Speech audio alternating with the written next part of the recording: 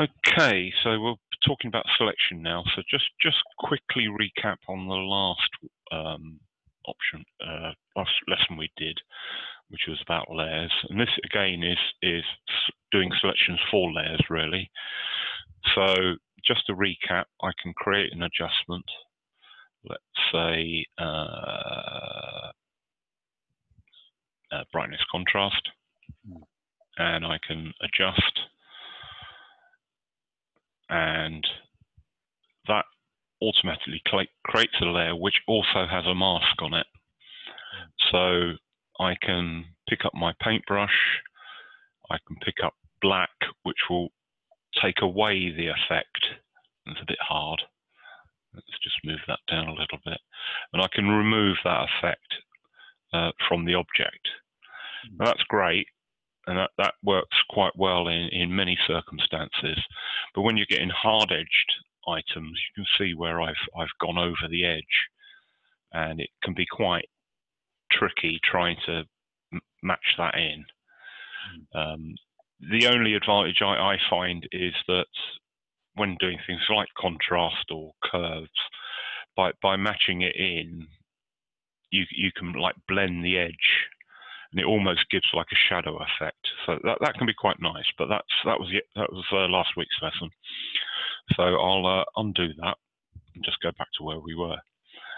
So first selection tool, and probably the one we'll you'd use 90% of the time, is um, the selection brush tool. And what you do is you would go over your item you want to select, and you can see it snapping to the edges, and that's because up here I've got snap to edges turned on. Hmm. And as I move across, it will pick up more and more of the object I'm picking. If I make the brush smaller, much smaller, it will pick up smaller detail. So basically, if you're picking big areas, use a big brush. If you want to be delicate, use uh, a smaller brush. Mm. Um, oh, we've got three participants now. Hi, Mike. Can you hear me? He doesn't. Oh, hi, Mike. Can you hear me? Yes, thank you. Excellent, excellent. Literally just started.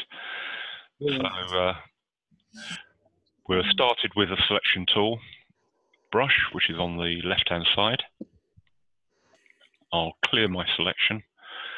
And basically, I'll just reiterate, the bigger the brush, the bigger the area, and it will snap to the edges if you've got the snap to edge tool on, tick box on. And then as you get into closer areas, you can reduce the size of the brush and it will be more delicate in what it selects. So I can just run along and select select edges. And we'll just quickly go through and just pick some of these edges here, some of which we're going to have problems with, but that's the point, is that uh, we'll find out how to make the selection better. So there we go. Um, and if I come back up here, just select the rest of the tail plane. There we go. All right, and I'll quickly select it. Oops, gone too far. So in, in the case where I go too far, if I hold the Alt key down whilst I click, it will do the opposite. All right. So I can I can go too far, hold the Alt key, bring it back in. And sometimes that, that can help because uh, if I go too far here, and bring it back, it's more likely to pick the outer edge. So we've got our basic selection, not quite, just need the uh, cockpit hood there. And, oops, we haven't done this bit here. Let me just reduce the size of the brush and just quickly select that area there. And you can see it's starting to have trouble because the difference between the blue and the grey is is not very much. So on these uh, yellow edges, it tends to be more precise because of the contrast uh, with the background. So if we just go across here, right, so we've got a basic selection. Let's just come down here a little bit. And if I use that, that if I tried to cut that out and use it, it would look like I'd cut it out, to be quite frank. If I wanted to, say, do a do a loo and replace the background uh, with some nice countryside and sky, um, it would it would look very much cut out. So we need to refine it. So up here we've got a, a, a refine button. So if I just click on that, it'll take a second. And what it does is everything you've selected is normal, the plane. Anything outside the selection is red. Now you can change the color of that. So um, you can say uh, the default is show as an overlay. You can say show it as black. There we go, black. Um, show it as white. Um, show it as transparent. So you can go through those and you can see that makes it look even worse. It's even more jagged. So if we go back to there, um, right, just hit the refine button again, get the dialog back up. Okay, so I'll just put that there for the moment. Now, the first thing to note is these four buttons here, matte, and the ones I tend to use most is obviously matte, foreground, and background. Matte basically means I'll pick an edge, um, um, oh here, down here, where it's gone wrong slightly. And if I pick up a, a reasonable sized brush, if I just run along the edge,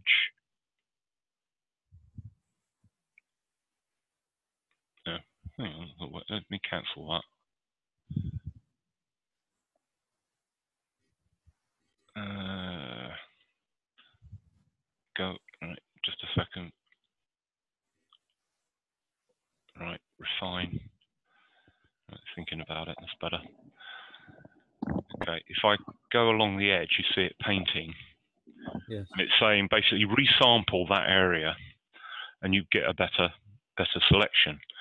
And again, the size of the brush matters. So um, in this case, it's not, can't really differentiate that bit. But if I come along here,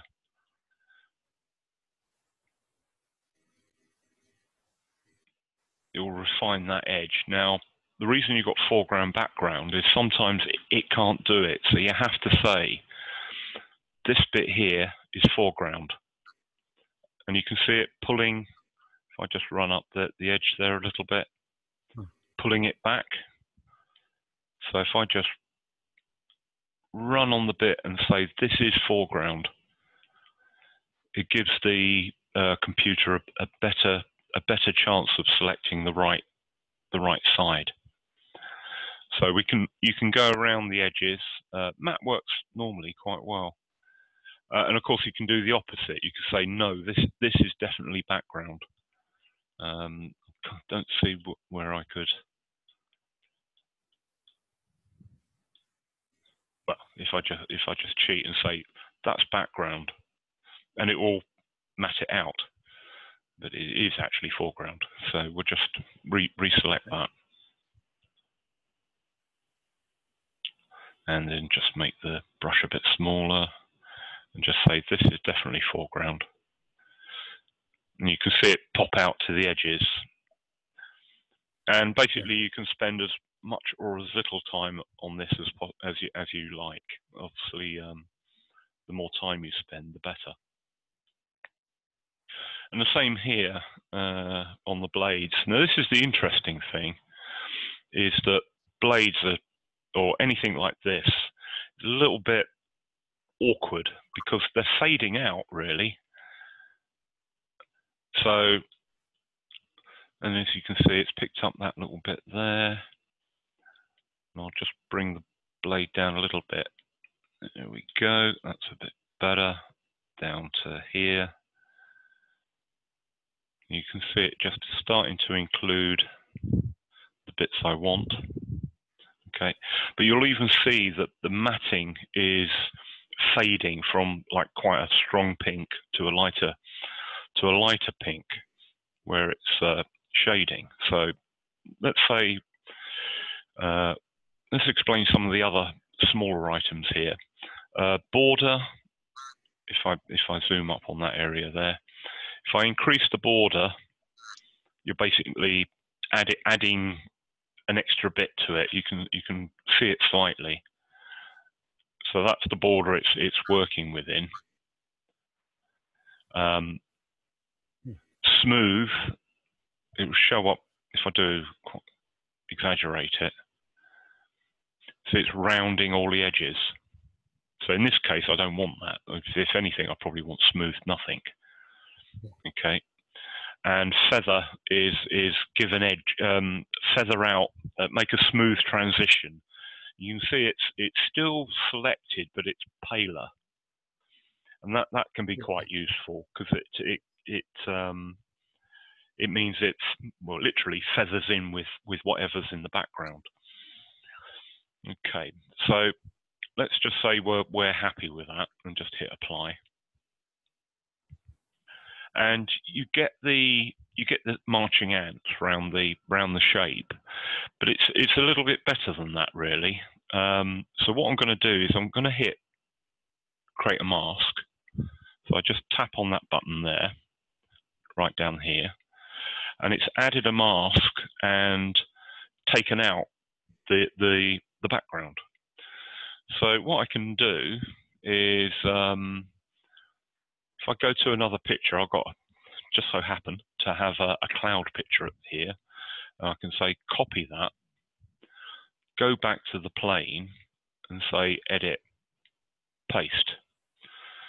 Now it's pasted it, it's on top, so it's covering everything. So what we want to do is move that down to the lowest. It's going to be the bottom the bottom layer. leave it there. Uh, we still got the marching ants. If you want to get rid of them, you can just hit uh, deselect or select, deselect, control D. Um, I just hit this button here. And you can see what it's done. It's feathered, feathered the edges of the, of the propeller, which has actually given it quite a good um, uh, a good impression in that it doesn't look cut out, while the the, the actual edges here are are, are nicely uh, merged into the background. So that's that's the first bit there. Now, as we did last week, I can actually click on the layer, and if I hold the Alt key down and left click on the mask, it'll actually show me what the mask looks like. And as you can see, round the propeller blade, it's graduating to grey rather than being a very hard black edge, which would make it look cut out. That's what you'd, you'd have a hard edge if you didn't use the refine button. Um, again, if I hold the control key down and click on the background, uh, actually I'll move off first. Let's move off, go back on. Holding control key, mask, gives you the march, marching an, an, ants back. Now, what that can be useful for is I've made this selection. I might want to do something else, and it will use the same mask. So, what I could what I could do here is um, let's add another. Um, boom, boom, boom, let's do a curves. Okay, so what I'll do is I'll, I want the blacks to be blacker and I want the whites to be whiter or the lighter areas. So I'm basically I'm adding contrast into the picture. What you can see is it's making absolutely no difference to the background because it's using the same uh, selection um, mask. So that, that can be really handy. Um, so if ever you want to reuse one of the masks you've already created, just click on it. Uh, let me clear it. Clear. Uh, click on, uh, hold Control key, click, and you get get the um, marching ants back, and then you can apply that to any other um, layer adjustment you want to want to uh, add. So I'm going to add a, a HSL and uh, increase the um, saturation. As you can see, that's probably a little extreme, uh, but I can I can increase it um, to whatever level you want, and then when I'm happy, I can deselect. So if I um, look at the curves, oops, no, it's not on that dialog, is it? No, get rid of that. Um, I can quickly um, just take it back to I've done nothing. That's what the original picture looked like, and redo everything, and that's what the picture looks like now. So that's um, um, the main uh, selection uh, you can do. Um, there are other other methods. I would say I use that 90% of the time, 95%. Um, there is a little magic wand. I think that's basically it's an older tool that people don't use much these days because the other one's so much better. And you, you can just click it and it does like it tries to do a magic pick out. Um, it looks like I've left behind the threshold. Oh, it's because I'm on the adjustments curve. Let me clear that. Um, let's go back to the main picture.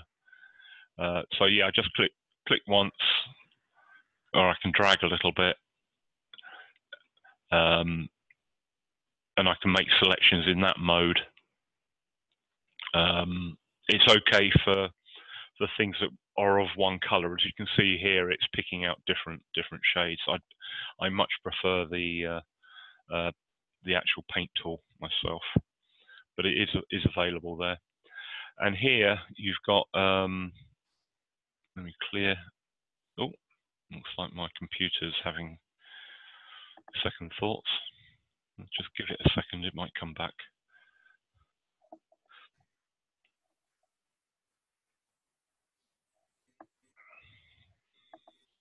Hmm.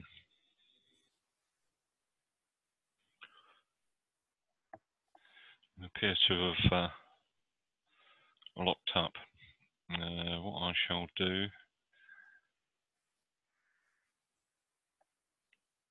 Let's just uh, end that. And I'll restart uh, Affinity.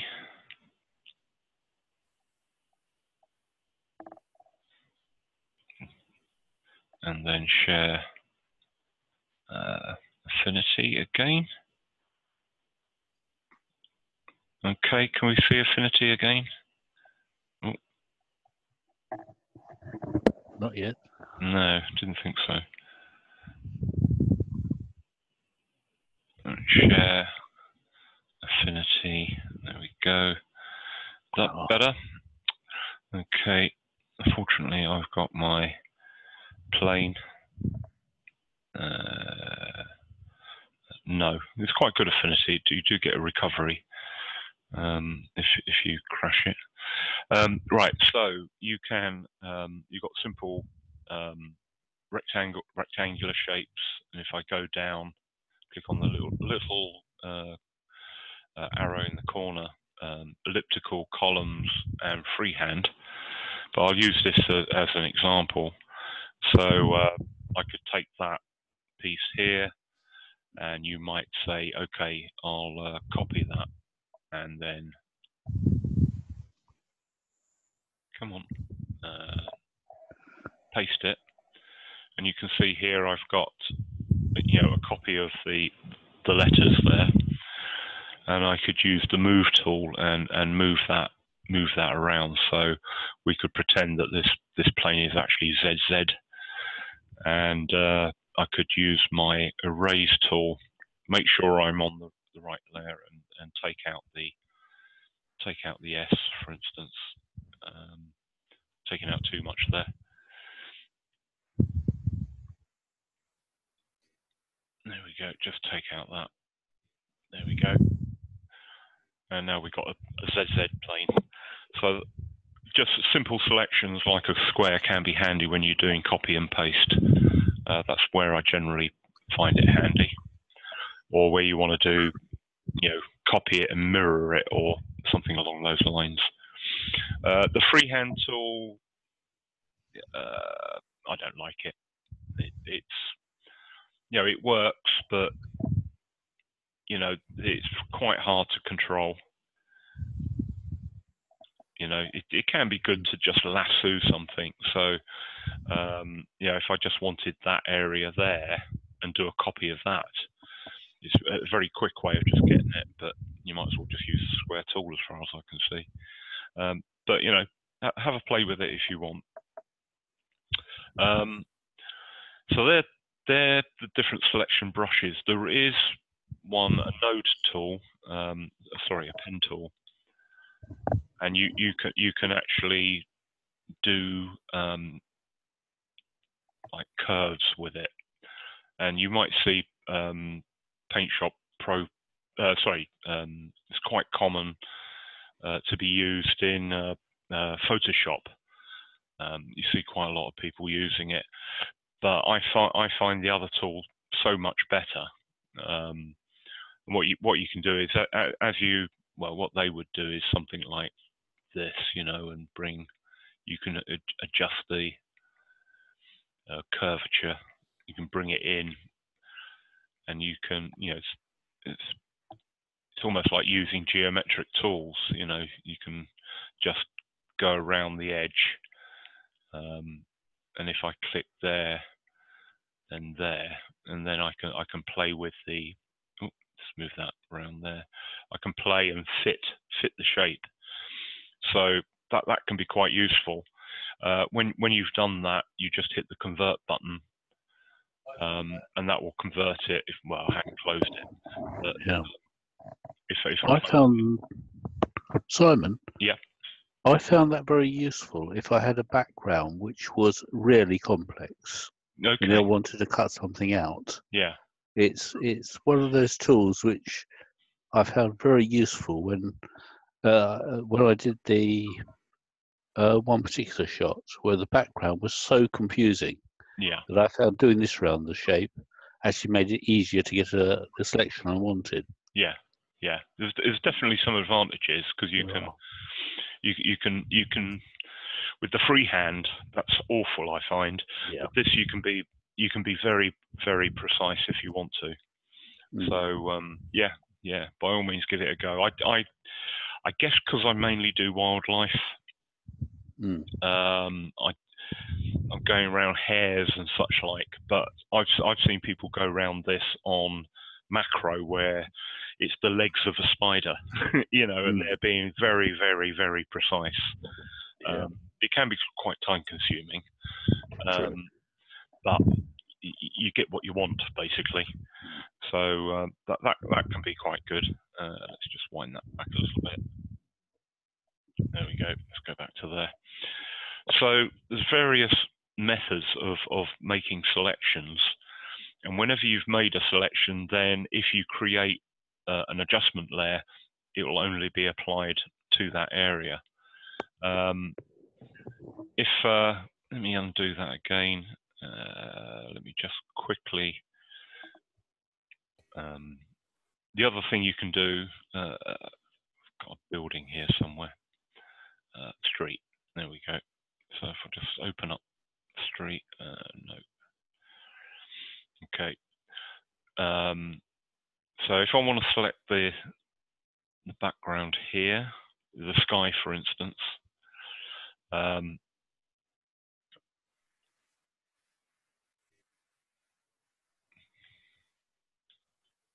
right.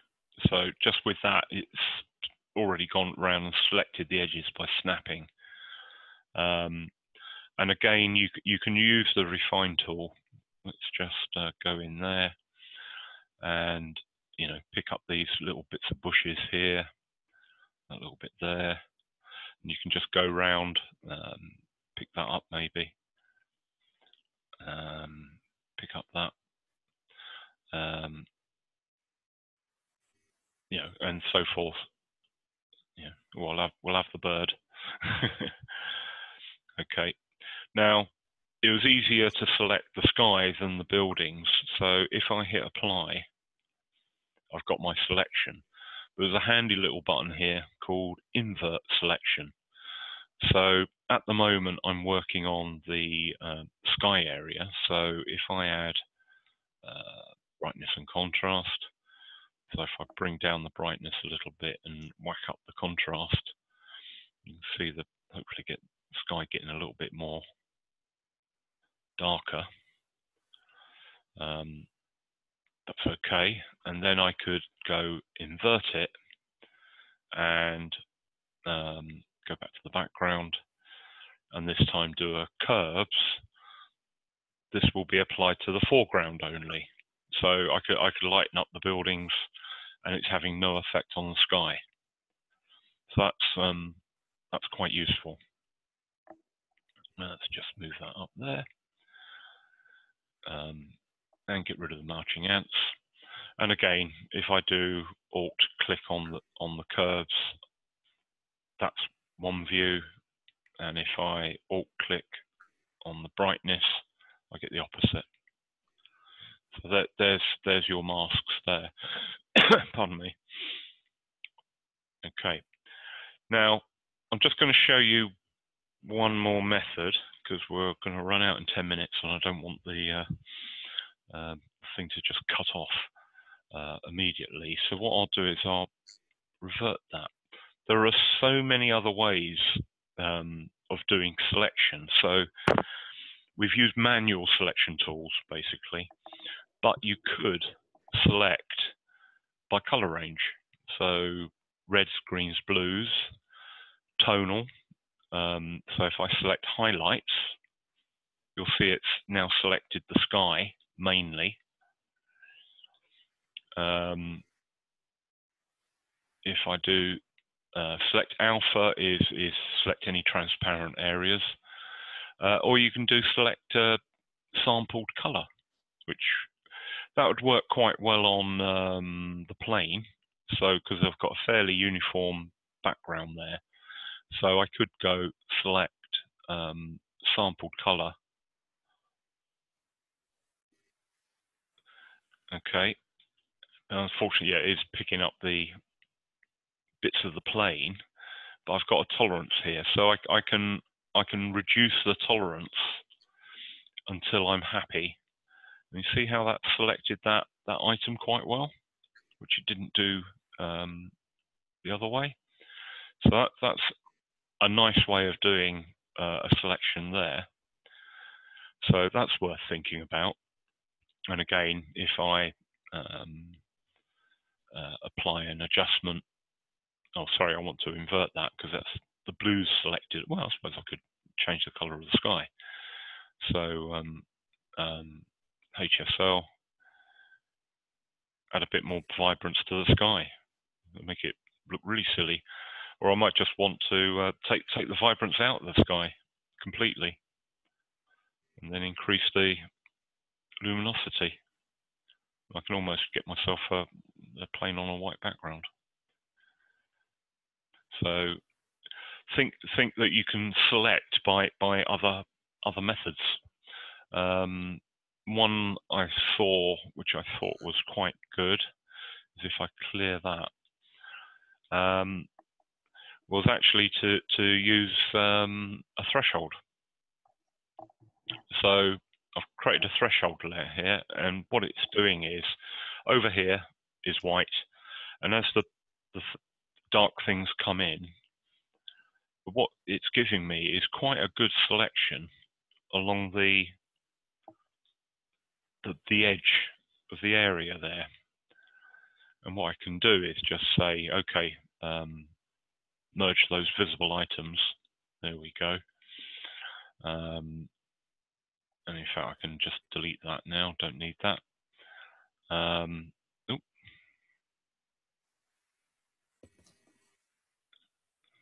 I did duplicate instead of delete.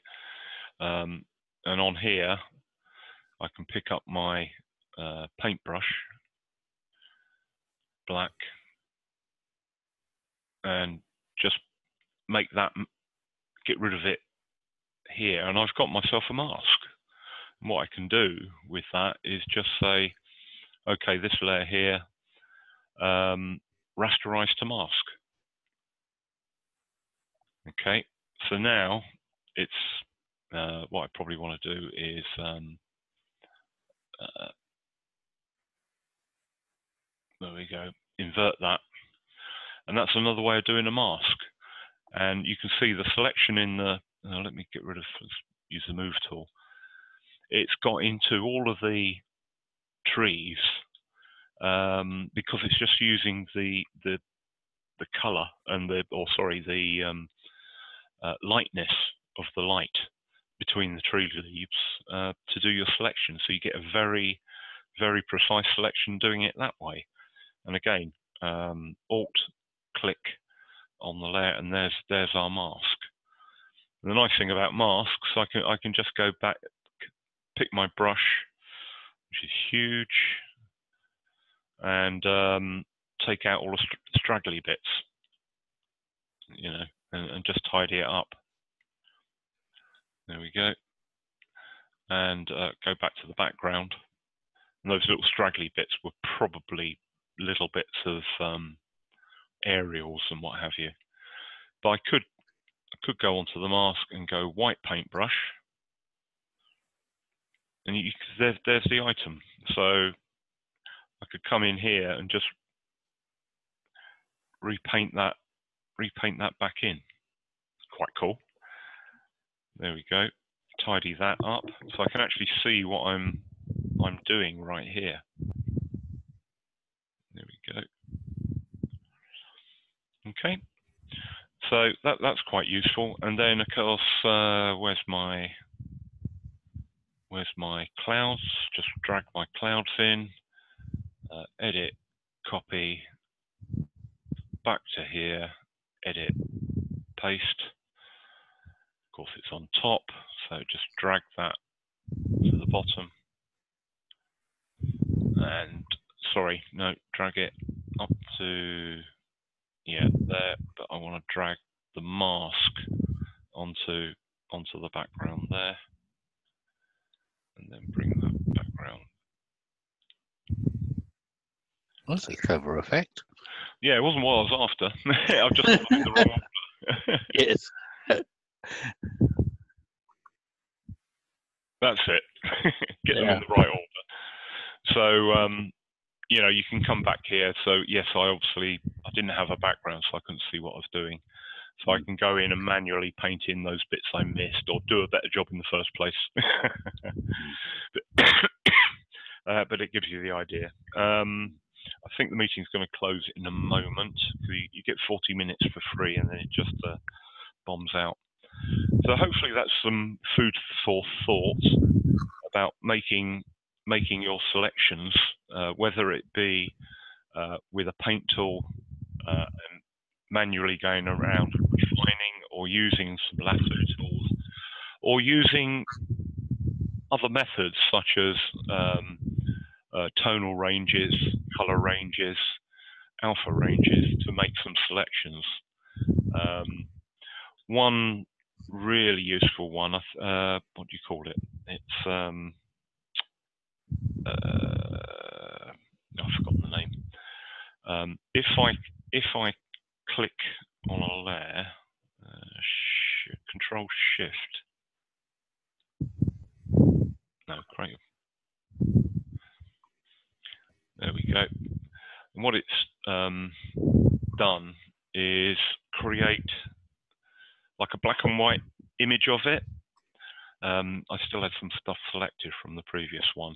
So you can use that as a mask. Um, and that can give you some nice luminosity effects. But I think I'll leave that for another another day because I think uh, we've run out of time to explain that too much. Okay, so thank you very much. Um, I'm going to stop sharing. Was there any questions? Uh, no, thank you, Simon. I think that's been very useful. Okay, good. Yeah. Um, All right. Thank you very much. Uh, see you Monday, hopefully. right.